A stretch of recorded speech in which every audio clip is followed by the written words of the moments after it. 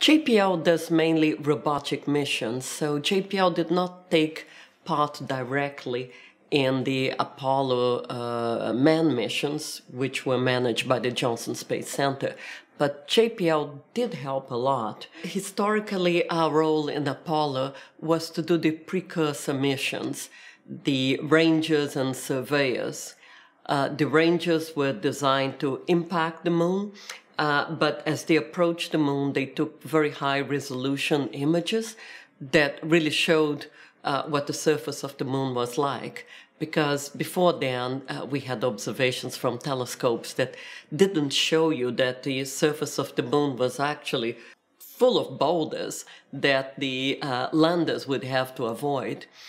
And the surveyors were soft landers, uh, so they were designed to, to test uh, landing on the moon and uh, what the soils would be like, uh, what the composition uh, uh, would be like. So they were extremely uh, important to enable the Apollo landings. It would have been much more dangerous to land the Apollo missions without those precursors because, you know, when you land on a planetary surface, that's potentially dangerous thing to do. And uh, you really have to have good knowledge uh, of the surface. On the topic of future moon landings, uh, first of all, we have two types of programs at NASA. Uh, we have the, the crewed missions uh, carrying people, and we have the robotic missions. So, uh, it, you know, the robotic missions is mainly what JPL does. And the robotic missions are for science primarily. Um, we can do some engineering tests, but they are primarily for science. And they are actually uh, cheaper to do than the crewed missions because you can take more risk. Uh, now, whether we're going to go back to the moon with astronauts, uh, I, I, hope so, uh, but it depends on uh, resources becoming available. And on the question of going to the moon first or going to Mars first, both places are interesting. And uh, of course, in terms of human exploration, uh, going to the moon and going to Mars um, would be great, absolutely great. We want to go to Mars. Uh, we want to go back to the moon.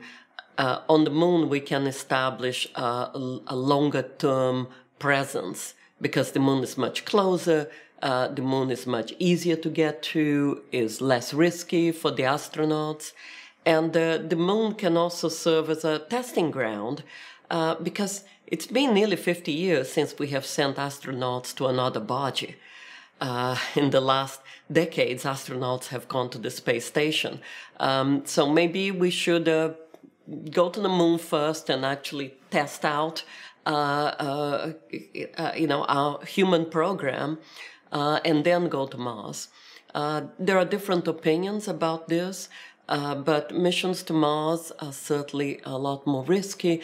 The astronauts have to be in space a lot longer, uh, so you have to worry about physiological aspects and uh, uh, you know many other things that you don't have to worry about if you go to the moon, which is so much closer. How long it would take to go back to the moon say, the moon with a, a, a human um, crewed mission, uh, it, that, that's largely a matter of resources. Uh, if you think about it back to the Apollo days and how quickly that was done in the 1960s, uh, when we didn't have the technology uh, at all, uh, I mean, that was a, a huge challenge. Uh, you know, and, and, looking back on it, you you almost don't understand how it could be done. But it was done because uh, a lot of people worked on it, a lot of smart people, and there was a very large budget. Uh, whether that kind of effort is realistic today uh, is uh, not a matter.